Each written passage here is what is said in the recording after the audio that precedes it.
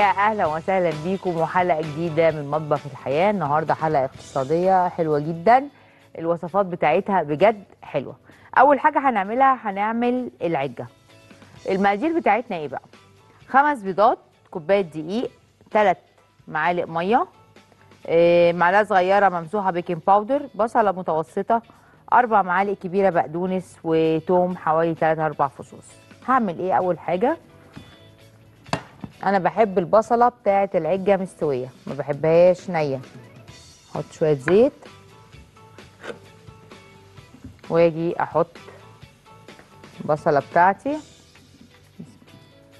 اشوحها في الزيت. لغايه لما تصفر بس أنا مش عايزاها تتحمر.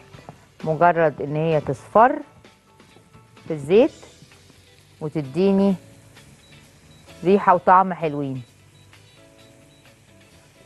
العجة دي في منها أشكال وألوان يعني في طرق كتيرة جدا للعجة وفي طرق بنضيف للعجة فيها يعني في ناس بتحط فيها كزبرة في ناس بتحط فيها شبت في ناس بتحط فيها قرنبيط آه، في ناس بتحط فيها كوسة مبشورة. يعني الواحد شاف حاجات كتير جدا للعجة والعجة دي موجودة في كل بلاد العالم. يعني موجودة عندنا موجودة عند الطلاينة عند الإسبان موجودة في دول البحر الأبيض كلها. بيعملوها بمسميات مختلفة لكن في الآخر هي الفكرة واحدة. لما يبتدي كده يصفر هنزل عليه بالثوم. ولو عايزه أحط فلفل حراق ممكن أحط شوية صغيرين ده اختياري بس برضو هيبقى حلو فيها. المشطشطه بتبقى حلوة قوي.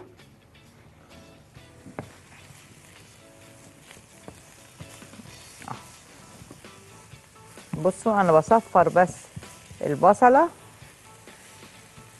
أول بقى ما ريحة التوم تطلع قوي خلاص هشيلها من على النار.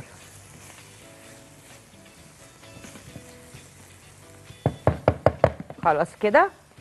ده اللون اللي أنا عايزاه. هاجي بقى هنا اعمل البيض بتاعي.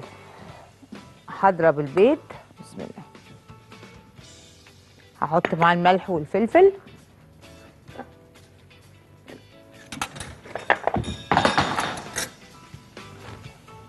ملح.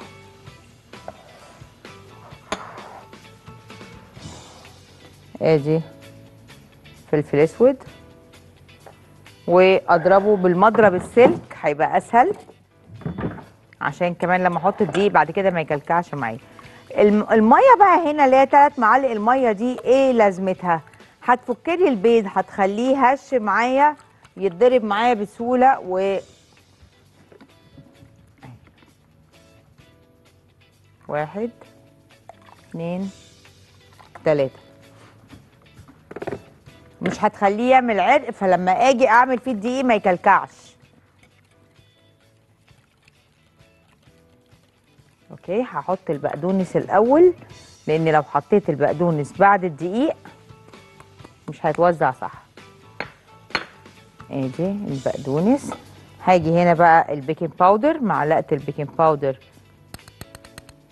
ممسوحة. يعني إيه ممسوحة؟ يعني هعملها كده. أهي. اهي. نعملها تاني هعملها لكم تاني اهي. بص اهي. كده ممسوحة. خلاص هحطها على الدقيق. ومهم جدا أنخل الدقيق. علشان ما يجيليش في العجة نقط بيضة. أوكي؟ فمهم جدا إن أنا آخد الدقيق بص. الدقيق انخله مع البيكنج باودر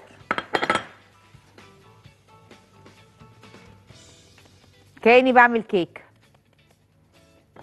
وهاجي أقلب بقى. بسم الله. بص يا ياسر شايف علشان ما يكلكعش معايا. لازم أقلب بقوة علشان ما يكلكعش لغاية ما تفك كلها وما تكلكعش معايا.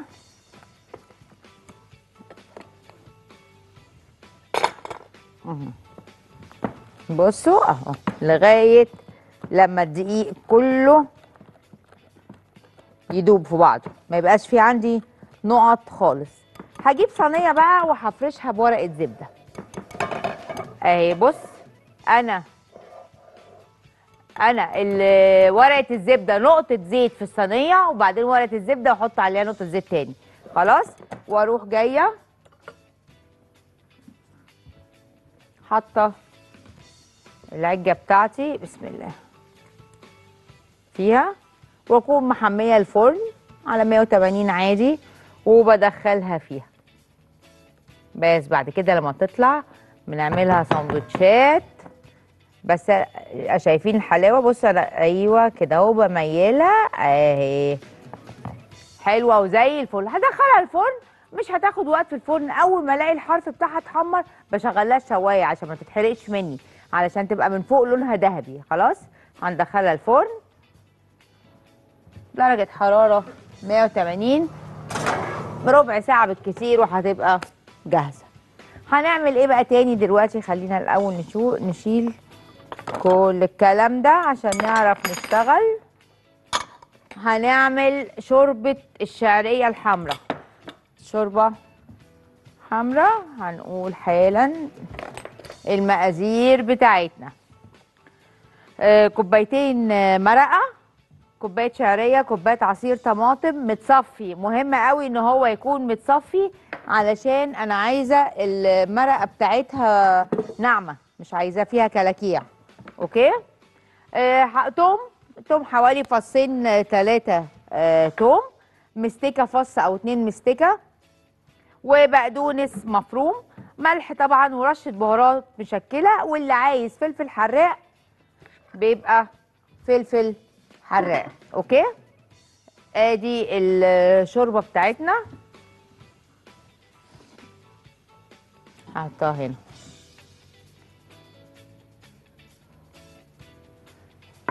هحط أول حاجة المستكة.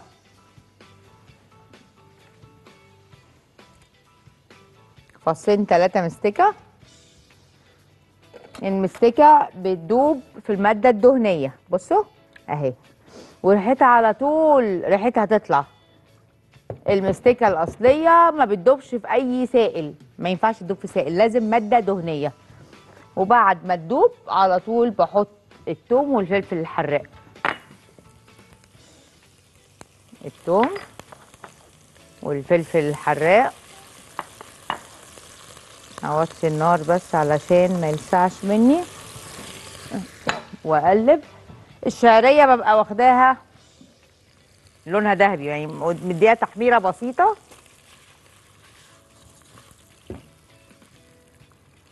من قبل ما أشتغل بيها أهي كده.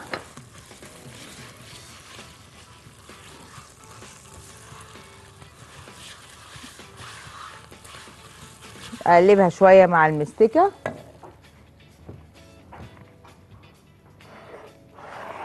ادي بقية المقادير. بعد ما الشعرية تتقلب سنة هحط الصلصة.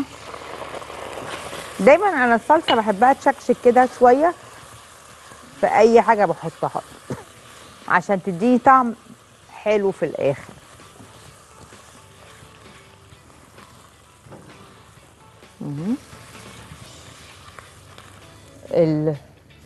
رشة البهارات رشة بسيطة قوي. بهارات.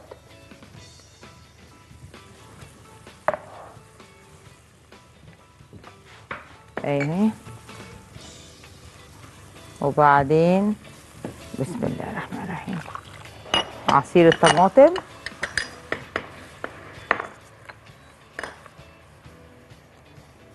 استناها تغلي غلوتين.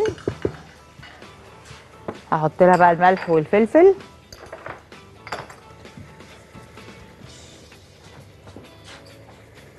فلفل أسود. علشان أسوي الطماطم. ال- الشوربة دي مش هخليها تغلي كتير في الشعرية. يعني ال- المرقة مش عايزاها تغلي كتير. أنا عايزة أسوي الطماطم الأول عشان كمان الشعرية تستوي معايا ما تبقاش مقرقشه وبعد كده هتغلي بالمرقة مفيش خمس دقايق وخلاص. بصوا ده ال- الأخضر ده الفلفل الحراق. المرقة أهي معانا. بسم الله الرحمن الرحيم. أهي. بس هحط فيها البقدونس. أنا عايزة البقدونس نقط خضرة فيها. مش على الوش. وبغطيها وبسيبها خمس دقايق بالظبط تغلي على النار. إيه إحنا حاطين فيها فلفل حراق زي ما قلنا. ممكن ما تحطيش الفلفل الأخضر وتحطي شطة عادية بس. هي بالفلفل الأخضر تحفة. هخليها تغلي خمس دقايق وأنا هروح لفاصل بقى. خلاص؟ هنروح لفاصل ونرجع لكم بعد الفاصل تاني. استنونا.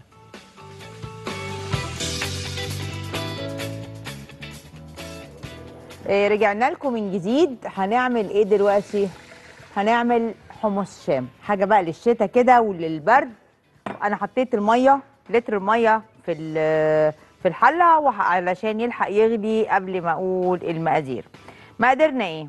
كوباية حمص الشام حبتين طماطم مبشورين معلقة سكر فصين توم كمون وبابريكا شطة وليمون للتقديم. سهلة جدا وما فيهوش أي مشكلة. أنت لو عايزة تخليه أحمر زيادة هتحطي فيه معلقة صلصة. إحنا هنعمله زي ما هو كده. وبس أنا عايزة أقول حاجة الأول. لو الحمص بتاعي بلدي لازم يتنقع 24 ساعة. ما ينفعش أنقعه 8 ساعات. الحمص العادي هو اللي بيتنقع 8 ساعات. لكن البلدي هيبقى مر معاكي وهيبقى طعمه مش حلو هيبقى مفرول كده ومش مستوي.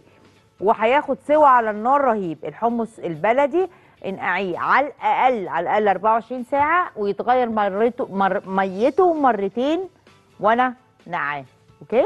ده البلدي لكن الحمص العادي اللي في كيس السوبر ماركت ده بيتنقع 8 ساعات عادي ولازم يتنقع.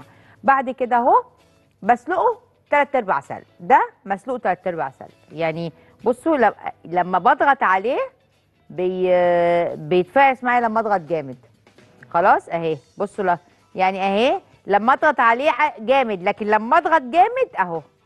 ده معناه إن هو مسلوق تلات أرباع سلق خلاص؟ باجي بقى المية السخنة هحط الحمص بتاعي. بسم الله الرحمن الرحيم. هحط طماطم المبشورة. الطماطم المبشورة. شطة بقى زي أنتوا عايزين. لو ما بتحبوش الشطة أو في ناس في العيلة ما بيحبوش الشطه الشطة تتحط في الآخر. البابريكا بقى علشان اللون والطعم المدخن. البابريكا بقى هي دي بتدي طعم رهيب لبلح الشام. وادي كمون. حمص من غير كمون ما ينفعش. التوم. ومعلقة السكر. وأكيد الملح. هنحط الملح.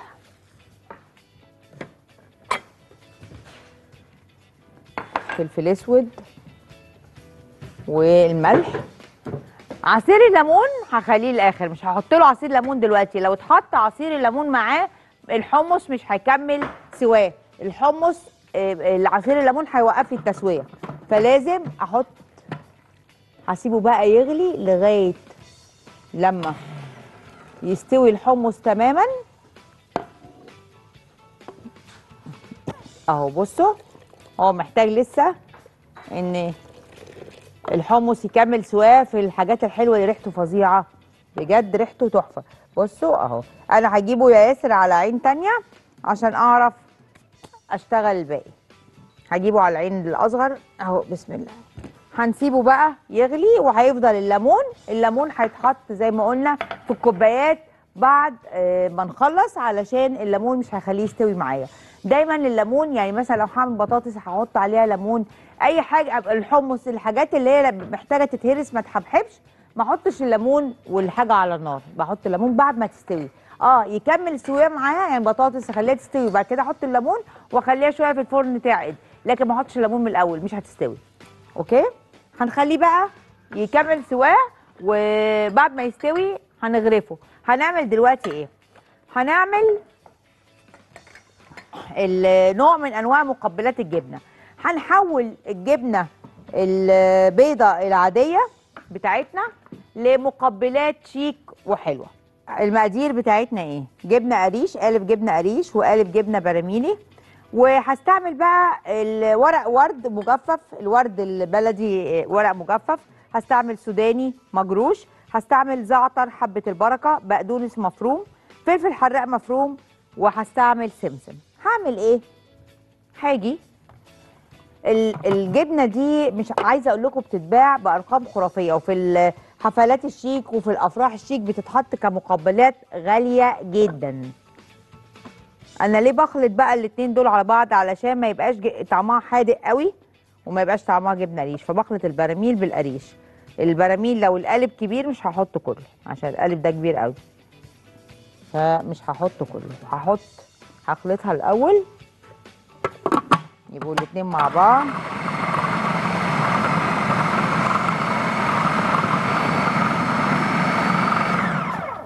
هحط معاها الفلفل. حراق. هحط آه، السمسم شوية سمسم شوية حبة البركة وأديها ضربة.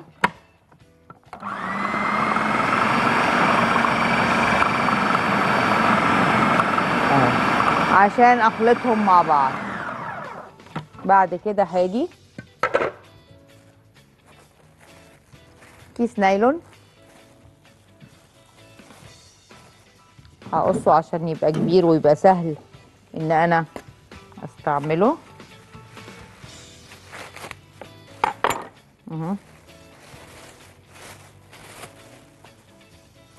أفتحه كده.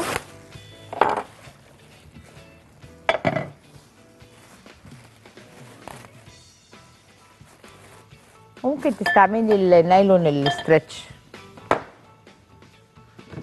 لازم احطها في التلاجة شوية علشان تجمد علشان ما تبقاش ملزقة في ايديا واعرف اتعامل معاها. فانا إيه هلفها على شكل رول. اهي. على شكل رول.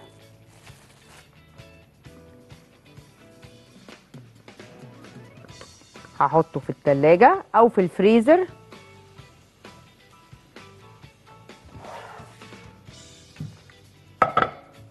أهو.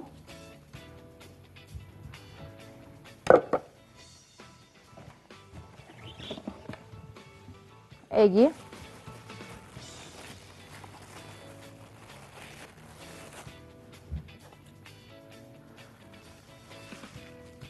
أنا مش عايزاه تخين قوي.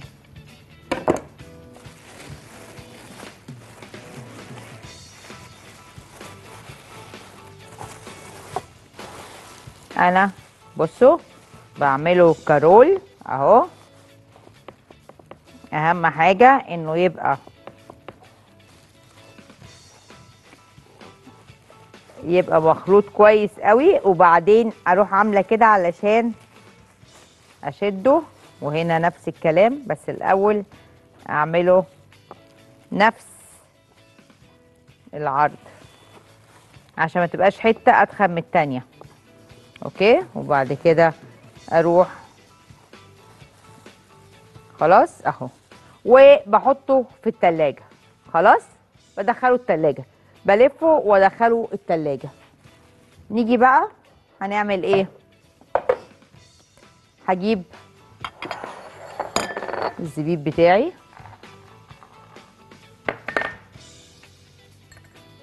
عايزة بس امسح السكينة. عشان ما يلزقش فيها الزبيب.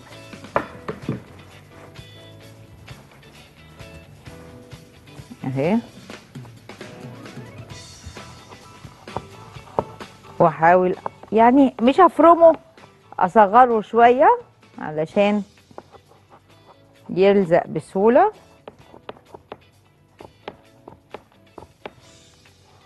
اهو. خلاص ادي ده الزبيب. هحط معاه السوداني هحط معاه ورق الورد. بصوا أنتوا الخلطة اللي أنتوا عايزينها يعني مش لازم الخلطة دي أي خلطة. وهحط معاه حاجة خضراء اللي هو البقدونس. اهو. وادي فرمه عشان يبقى ناعم نوعا ما.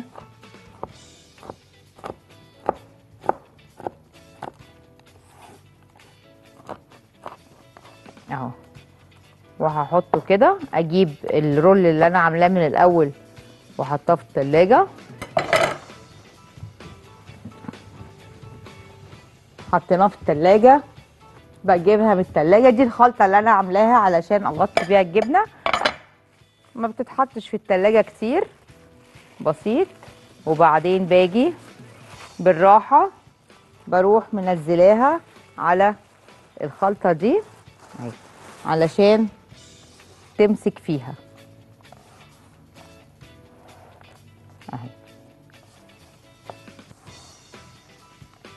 عايزة أقول لكم طعمها وشكلها بيكون فظيع أهو. بغطيها بيها. وبتتقطع بعد كده رولات بتتقدم جنب عيش محمص. بتكون تحفة. أنا لو حت أي حتة فيها قليل بروح حاطه أغطيها بيها كلها وهحطها في الطبق لغاية لما نحطها في طبق التقديم. اهي اهي دي عبارة عن هي المفروض تتعمل بالجوت تشيز اللي هي جبنة الماعز وهي غالية قوي في مصر جبنة الماعز. عشان كده أنا عملت خليط من البراميل. والقريش علشان أدي نفس الت... آه بنتصرف ياسر برافو. علشان أدي نفس التأثير طعم بيبقى حلو جدا وفي الآخر بتقدمي حاجة شكلها شيك جدا وغالي جدا بأقل التكاليف اللي ممكن تعمليها. ده رول الجبنة أهو عملناه. هنحطه على جنب ونشتغل في الوصفة الأخرانية. المقادير بتاعتي. هعمل اليانسونية. مقاديرنا 2 كوباية سميد نص كوباية دقيق 3 معالق آه سمسم معلقة حبة البركة معلقة خميرة 4 معالق ينسون كوباية مية نص كوباية زيت 3 معالق سمنة 3 معالق لبن بودرة وشربات خفيف زي شربات البسبوسة بالظبط. هاجي أعمل إيه؟ السمنة بتاعتي هحطها في الميكرويف. نص دقيقة تطرى بس. أنا مش عايزاها سايحه عايزاها تطرى بس. في ناس بتستعمل زيت الزيتون في الوصفة دي بس السمنة فيه أحلى. يعني الحلبة دي شبه الحلبة صينية الحلبة بيبقى زيت الزيتون حلو فيها دي السمنة أحلى فيها. هاجي أعمل إيه؟ أول حاجة كوباية المية بغلي فيها اليانسون. بصوا بغليها واسيبه ينقع فيها بعد كده. كأني بعمل كوباية يانسون. أهي. اليانسون بتاعي بغليه غلوة وأروح طافي عليه وسايباه. خلاص؟ بحطه في البولة بتاعتي. وهحط الدقيق ادي السمنة. بسم الله. وأعجنهم السمنة مع الدقيق مع اليانسون. والميه بتاعته اليانسون بحطه بميته أوكي؟ بعد كده هحط الزيت بتاعي نص كوباية الزيت. آخر حاجة بحطها السميد زي البسبوسة برضو عشان تبقى مرملة. هحط لبن باودر ينسون وادي السمسم حبة البركة والخميرة بتاعتي. بقلبهم كلهم. وآخر حاجة بقى بحطها إيه؟ السميد. بسم الله السميد بتاعي وأقلب كله مع بعضه. أكون مجهزة صينية 28 وبحطها فيها وبدخلها الفرن. اهي. بصوا اهي. ده القوام اللي أنا عايزة اوصل له. اهو. الدقيق مع السميد. بحطها في صينية وبدخلها الفرن. وبتاخد في الفرن حوالي من ساعة الا ربع ساعة حسب فرنك بعملها على حرارة 180 وبعد لما بتطلع بسقيها بالشربات. إحنا عاملين واحدة اهي. اهي. حطيناها في الفرن. حطيناها في الفرن. أخدت بالظبط ساعة ل 10 دقايق. وبعد كده بصب عليها الشربات. آه الشربات الخفيف. بصبه عليها وبسيبها شوية تشربه. آه هروح عاملة كده و آه، الأول هحاول أدخل الشربات عشان تشربه وهدخلها الفرن تاني زي البسبوسة بالظبط. البسبوسة لما نطلعها من الفرن بنسقيها بالشربات وبنطفي الفرن وندخلها في الفرن خمس دقايق. خلاص أنا نفس الحكاية هعملها. هدخلها الفرن خمس دقايق على ما نطلع الفاصل فيها. هدخلها اسيبها الفرن الفرن مطفي تتساب في الفرن السخن المطفي خمس دقايق وبعدين بطلعها وبالهنا والشفا. هطلع لفاصل وارجع لكم بعد الفاصل تاني. استنونا. رجعنا من جديد. قبل ما نقول عملنا إيه النهارده كنت بس عايزة أكلمكم عن معلومة بسيطة.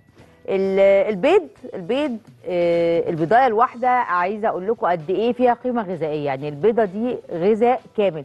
كان زمان بيقول لك البيض فيه كوليسترول عالي. أثبتت الابحاث إن الكوليسترول ما بقاش كتير في لا مش كتير في البيض. إن دي كلها كانت آه، اعتقادات أو معلومات خاطئة.